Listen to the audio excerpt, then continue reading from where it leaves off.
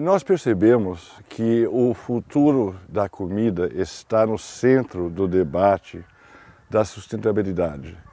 que em função das mudanças climáticas também, por uma série de motivos,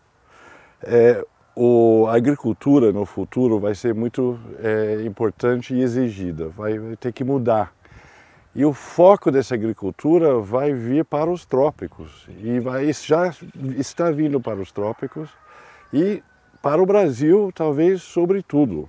Então, nós começamos a pesquisar isso, a montar um evento em torno da, do futuro da comida.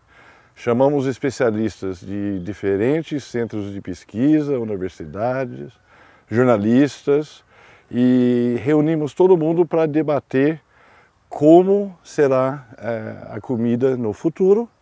e nós percebemos que ela vai levar mais tecnologia, mais conhecimento, práticas novas, terá que respeitar uh, o ambiente e que há muita gente já pensando isso de forma fascinante e muito avançada.